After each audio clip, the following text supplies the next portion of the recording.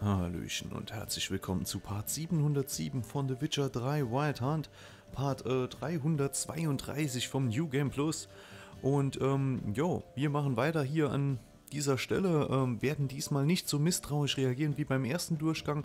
Und ich muss gleich dran denken, dass ich auch Volltest mal auswähle, ähm, den ich ja jetzt bei diesem Quint-Turnier da gewonnen habe, oder im ersten Durchgang, im ersten Part des Quint-Turnieres. Machen wir mal hier weiter. Ja, gut. Ah, dem müssen wir Das folgen. Leben ist manchmal echt scheiße. Ja, manchmal ist es nicht so geil. Ja, was mich da irritiert hat, man darf, durfte die Passiflora nicht verlassen. Und da habe ich vielleicht gedacht, wenn ich jetzt auf den Balkon gehe oder sowas, gilt das als Regelbruch oder sowas. Ja, war so meine Theorie, die mal wieder total bekloppt war, wahrscheinlich. Nehme ich an, keine Ahnung. Jo, hier gibt es noch schönes Essen und eine Tabakpfeife dazwischen und die Kerzen sollten wir mal ausmachen. Ja, und beim Schwein hole ich mir einen Apfel. so, Sascha, alles cool.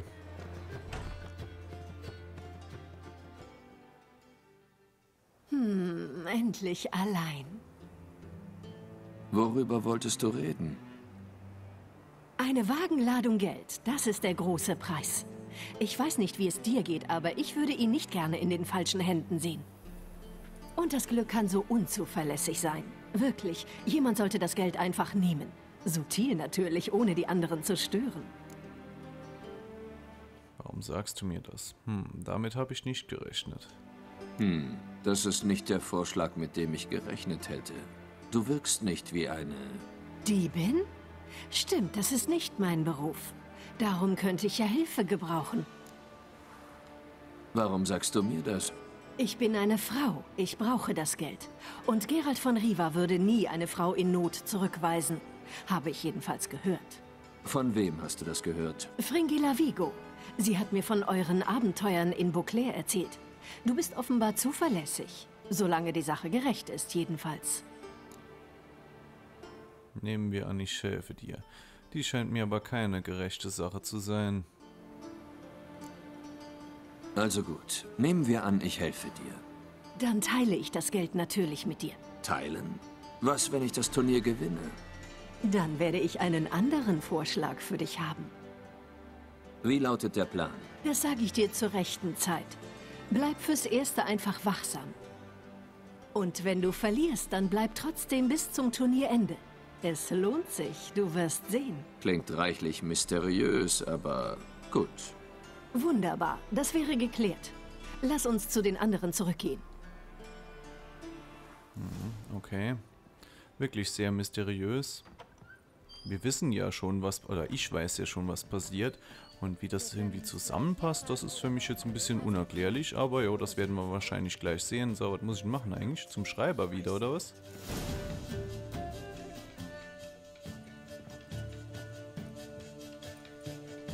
Zeit für Runde 2. Eure Aufmerksamkeit bitte.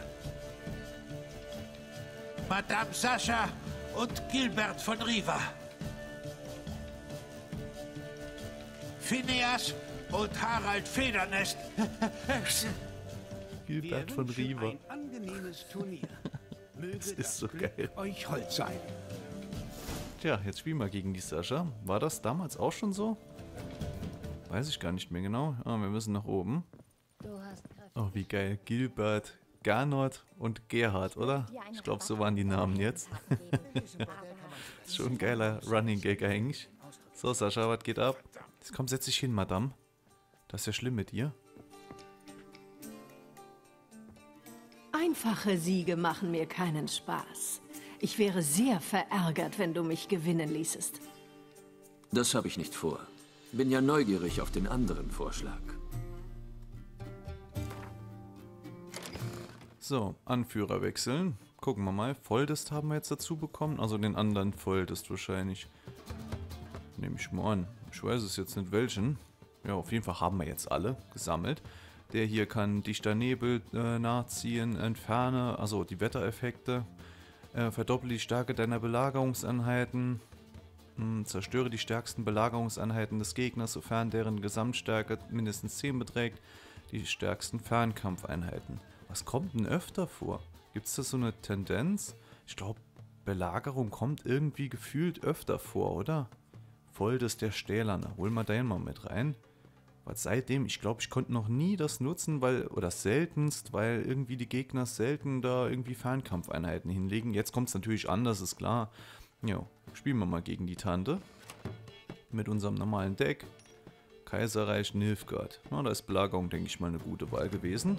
So, einen Spion haben wir. Wir haben auch schon eine Musterung. Wir haben zwei Spionen. Sehr schön. So, wen holen wir hier noch raus? Er hier alleine ist nicht so wirkungsvoll.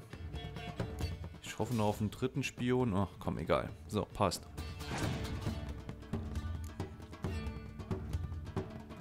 Junger Gesandter. Dann zeig mal, was du drauf hast, Sascha. Sascha. Sascha, zeig mir, was du kannst. Ray. Das da läuft auf, jeden Fall, läuft auf jeden Fall schon mal deutlich besser. Jetzt haben wir noch eine Heilung im Sack. Das heißt, ein Spion definitiv noch, der nachkommt. Läuft direkt schon ein bisschen anders wie der erste Durchgang. Und noch ein Spion, super geil. Ja, jetzt läuft's gut. Gut, sie hat auch den mysteriösen, Elf, den wir bis heute nicht haben. Unser Gegner hatten immer die stärkste Karte im Spiel, würde ich mal behaupten. Natürlich wunderbar. So, wir hatten noch ein bisschen Glück jetzt. So, mit Finde macht sie da jetzt was. Und wir werden den Druck erhöhen mit unserer Musterungskarte, oder? Das können wir eigentlich jetzt machen. Das ist eine Fernkampf-Musterungskarte. Machen wir mal. Bam. Um die erste Runde nicht äh, sinnlos zwingend abschenken zu müssen, finde ich das eigentlich immer ein guter Move. Oder er müsst verbrennen oder was wirken. Er legt mir noch Taler hin. Wir haben 12 zu 12 Karten. Und wir führen. Könnte ich jetzt abschenken? Legen wir noch was hin? Keine Ahnung, ich weiß es nicht so genau. Hm. Kaiserreich Nilfgaard gewinnt ja keine Karte dazu.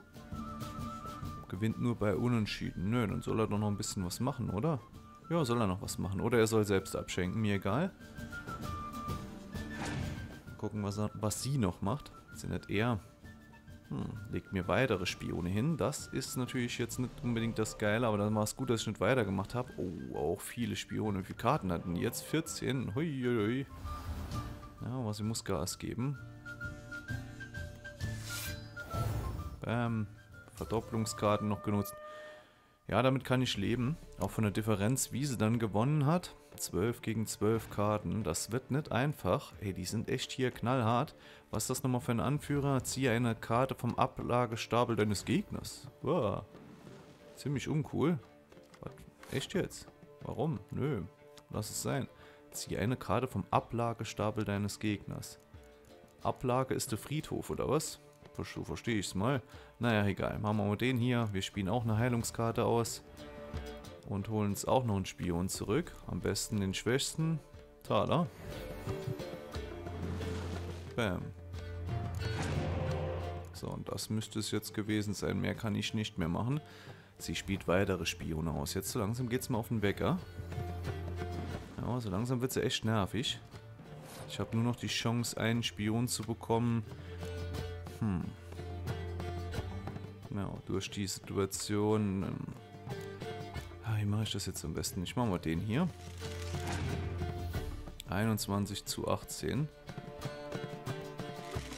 So, Belagerung haben wir jetzt dabei. Wie gesagt, ich habe nur noch Chance, einen Spion zu bekommen, wenn ich denn äh, selbst zum Nachziehen komme, sprich die Runde gewinne. Wird nicht so einfach. Legen wir mal den hin und ich kriege eine Nachricht. Hallo Gamer Nico. Das sieht doch schon mal gut aus. Da könnten ich schon mal Verbrennen äh, nutzen. Vielleicht legt er noch eine 10er-Karte hin. Das wäre schon mal ganz sinnvoll. Jo, legen wir auch mal eine Heldenkarte hin jetzt. Genau. Passt eigentlich so vom Verhältnis her. 39, 38 und der passt sehr gut. Das ist gut. So, dann kriegen wir nämlich eine Karte dazu und kommen nochmal ein bisschen näher ran. Bam. Ich habe keine zu starke Karte verbraucht. Vielleicht kriege ich einen Spion, Spion, Spion, Spion, bitte. Hm. Ja gut, das ist auch in Ordnung. Auch eine Karte, die äh, andere Karten vernichten kann und somit einen Kartenvorteil herstellen kann. Letzte Runde, das heißt, die Helden gehen raus. Würde ich doch mal so behaupten. Oh, die nervt, ey. Die nervt aber so richtig, ey. Das gibt's doch gar nicht. Was, ja, die hat da Heilung und Spione und so weiter drin. Damals hatten wir auch mit Kaiserreich Nilfgaard gespielt. Vielleicht auch deshalb, weil die einfach mehr Heiler haben. Kann das sein? Das müsste ich mir mal angucken. Vielleicht für den nächsten Part. Wenn ich denn noch so weit komme. dass ich vielleicht auch auf Kaiserreich Nilfgaard umsteige, weil sie einfach mehr Heiler haben. Heiler und Spione ist natürlich eine sinnvolle jo, Ergänzung. Ja, der Leto, ja, die hat alle guten Karten. Ja, die läuft da komplett amok. Und wir haben nur noch sieben Karten. Und die noch elf. Da muss jetzt was Sinnvolles passieren. Und zwar was ganz Sinnvolles. Die wird wahrscheinlich auch ein Verbrennen drin haben, so oft wie die nachgezogen hat. Was mich jetzt gleich mördermäßig mäßig nerven könnte. Oh, nervig. Ja, lege ich ihn jetzt mal zuerst hin. Hm. Mal gucken, was er noch so bringt. Ja, natürlich jetzt Fernkampf. Das ist, ich sag's doch, das ist doch so klar, oder? ja, legen wir den mal hin. Der wird jetzt ein bisschen gebufft. Das wird richtig hardcore. Horn des Kommandanten. Natürlich in der Fernkampfreihe. Das Ding hier äh, lose ich, oder? Das gewinne ich nicht. Das kann ich komplett knicken. Das kann ich, glaube ich, wirklich vergessen. Hm, kommt noch was im Nahkampfbereich. Welches Risiko gehe ich jetzt ein? Ja, machen wir es erstmal Horn des Kommandanten in die erste Reihe. Das wird auf jeden Fall so kommen. Hoi, Fernkampf. es ist sowas von bitter, ey. Es ist sowas von bitter. Und jetzt kommt ein Verbrennen und dann kann ich nach Hause fahren. Das sah schon so verbrennenmäßig aus. Hm, ja, komm, dann spiele ich zuerst mal noch ihn aus. Bam.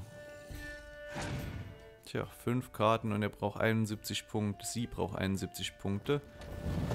So. Eine Fünfer Belagerung ist mehr. Ja gut, aber das könnte ich gleich dann noch spielen. Ich hoffe, der passt nicht automatisch. Das weiß ich jetzt nicht mehr genau, wie das hier in dem Spiel war. Ich mache das jetzt lieber mal, ne, dass er gleich automatisch passt. Bam. Ich glaube nämlich eben hat er doch automatisch gepasst.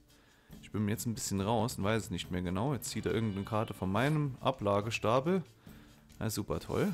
Freut mich kolossal. Und jetzt kann ich nur noch beten und hoffen. Fünf Karten. Ein verbrennen und dann ist Feierabend. Verbrennen. ja, und so verliert man dann so ein Turnier. Bitter. Jo. Wobei, was macht die da? Wie geil ist denn das? Ich sag jetzt gar nichts. Danke, Sascha. Danke. das ist doch geil, oder? Hm, hoffentlich hält dein Glück an. Das war wirklich viel Glück, da muss ich ja recht geben.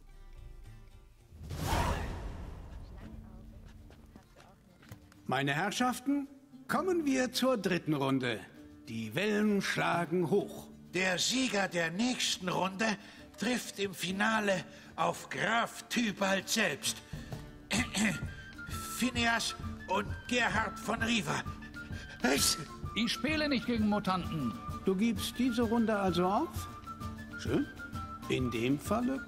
Nein, ich gebe die Runde nicht auf, verflucht. Ich werde ihn zermalmen wie eine Laus. Ein gutes Spiel euch beiden. Denkt an die Regeln. Keine Magie, kein Streit.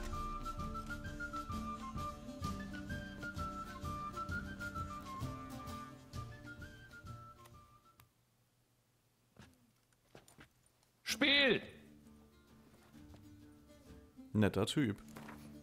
So, und jetzt gucken wir uns das mal an. Also, ich habe jetzt Emir war M-Reis, habe ich noch bekommen. Gucken wir doch einfach mal rein. Ich sage immer Emir von M-Reis, sage ich sehr oft, nennen wir es mal so. Das ist nicht immer so ganz richtig. So, was haben wir dann? Fähigkeiten, die Einheiten auf dem Schlachtfeld wiederherstellen. Stellen zufällig ausgewählte Einheiten wieder her. Wirkt auf beide Spieler. Hm, ich weiß nicht, wie geil das sein soll. Ziehe eine Karte vom Ablagestapel deines Gegners. Das finde ich schon eigentlich ganz lustig. Ich hole das jetzt mal rein. So, der Unbarmherzige. So, und jetzt wie viele Heilerkarten hat der? Schon mal hier zwei auf jeden Fall mal durch die Heldenkarten. Ja, das sieht auf jeden Fall schon mal ein bisschen anders aus. So, Gerhard, äh, Gerhard, jetzt sag ich's. jetzt sag ich selbst schon. Herr Gerhard muss da rein. Der Gerhard, der gute Alte. Vielleicht sollte ich da mehr auf Heldenkarten gehen.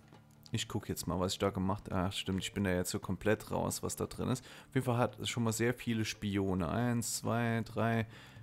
Ja, drei Spione. Echt, nur drei? Warum? Warum nur drei Spione? Oder kommen da noch welche? Oh, aber drei Heiler direkt schon. Ja, das war jetzt der Unterschied. Vier Heiler. Hm. Ja, fünf Heiler. Ja, das ist natürlich heftig. Könnte ich eigentlich auch mit denen spielen, auch wenn ich da jetzt nur drei Spione habe. Hm. Und dann ganz weg von diesen Musterungen, äh, von diesen Bündnisdingern da und was weiß ich. Hier, der, den habe ich viermal drin. Imperia Brigade.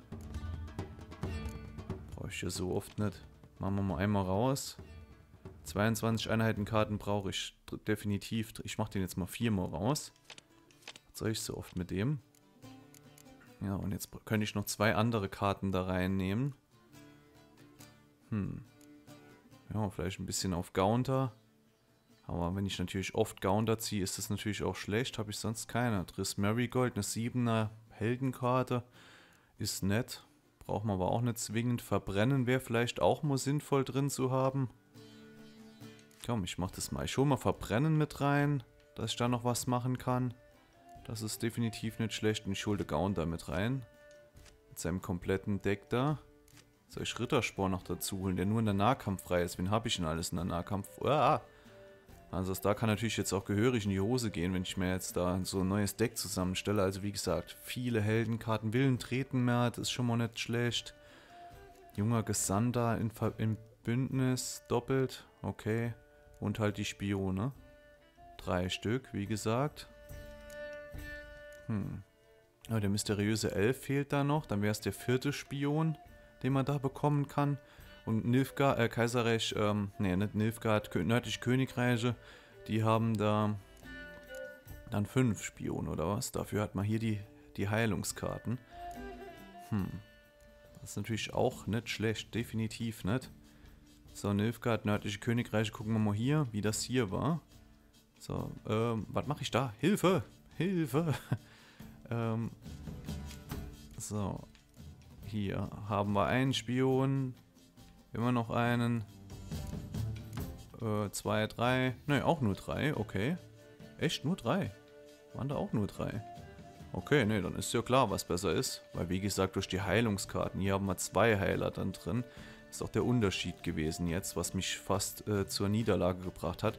Dann können wir jetzt noch eine Karte nachziehen finde ich dann eigentlich jetzt nördliche Königreich, äh, die Kaiserreich Nilfgaard hier besser. Verbrennen hätten wir noch drin als taktisches Mittel. Machen wir es doch einfach mal so, starten wir mal so.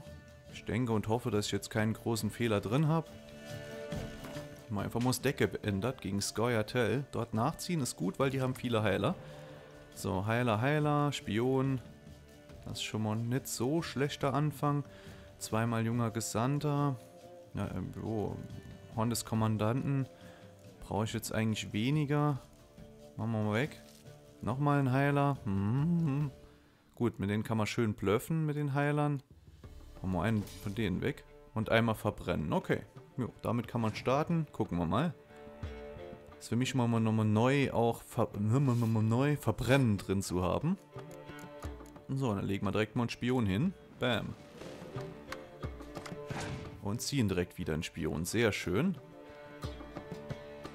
So, und jetzt könnte man hier direkt zum Beispiel, zum Beispiel schon was mit Verbrennen machen, wenn nicht die 6er Karte da liegen würde. Wenn ich jetzt aber Willen Tretenmert noch hätte, den ich ja vielleicht jetzt ziehe, könnte ich da noch was machen. Ah, jetzt habe ich ihn selbst verstärkt. Das war Schwachsinn. So. Strömender Regen. Okay. Der hat nur noch 6 Karten. Okay, okay, das klingt schon mal ganz gut. Würde ich sagen, hauen wir einmal die Karte hier raus und erhöhen den Druck, oder? Jo. Bam. So sieht's aus. Ich wollte gerade sagen, der wird wahrscheinlich passen. Macht er aber nicht. Okay, kann er auch machen. So, jetzt könnte man mit den jungen Gesandten ihn sogar noch unter Druck setzen, was ich auch mache. Ja, das sieht irgendwie direkt schon sinnvoll aus. Achso, hier ist natürlich jetzt anders mit Nilfgaard, dass ich keine Karte mehr nachziehe. Das muss mir bewusst sein. Hm ist natürlich auch nochmal eine andere Situation. So, 32. Jo, dann lege ich noch eine hin. Gut, ich ziehe keine Karten nach, aber ich gewinne wenigstens die Runde. Und somit setze ich ihn massiv unter Druck. Jo, so machen wir's. Bam. Jo, das Ding gewinne ich auf jeden Fall. Jetzt noch mit Heilung und so. Fünfmal Heilung. Das ist schon echt heftig. Das sieht echt wunderbar geil aus. Jo, und dann... Achso, und jetzt könnte ich da vom Ablagestapel des Gegners eine Karte ziehen. Dann machen wir das mal. Bam. Oh, ich darf mal sogar aussuchen. Ach, das ist ja mal geil. Das wusste ich ja jetzt nicht. Okay, dann machen wir das doch mal. Hm. Das ist ja mal super geil, weil... Ach super, das ist echt klasse. Kann man richtig geile Taktiken machen. Ist das so mies? Bam. Feuer frei. Ja, und dann sieht es nämlich so aus. Wenn ich ihn jetzt ausspiele... Jetzt macht er verbrennen. Hm, das gefällt mir sogar. Das kommt mir sogar zugute. Dann spielen wir nämlich eine Heilungskarte hier wieder aus. Eigentlich völlig egal welche. So, und dann kommt unser Spion gerade wieder aufs Feld. Och, ist das so brutal. Das ist echt sowas von brutal. So, ich soll ich hier eine Chance geben? Wenn ich jetzt da angreife, geht der Spion sogar nochmal einen Eimer. Ich mach das jetzt mal. Der Spion wird nochmal zerstört. Wenn sie jetzt eine Heilungskarte hat, wird sie das wahrscheinlich wieder machen. Und mir da irgendwas hinlegen. Nö, macht sie nicht. Okay, klirrende Kälte. So, er hier kann, glaube ich, nichts mehr auslösen. Er löst Musterung nicht mehr aus, genau, weil die auf dem Friedhof sind, auf dem Ablagestapel, wie wir jetzt gelernt haben. Das war Schwachsinn. Jo, dann legen wir noch eine Heldenkarte hin. Ja, bei ihm die Heldenkarten reinpacken, noch den einen Spion dazu bekommen. Das ist echt, also Nilfgaard gefällt mir, ist echt witzig. So, und dann legen wir noch eine Heldenkarte hin und dann war's das. Und dann gewinnen wir das Ding ganz easy. Sieht schon ein bisschen anders aus, irgendwie so gefühlt.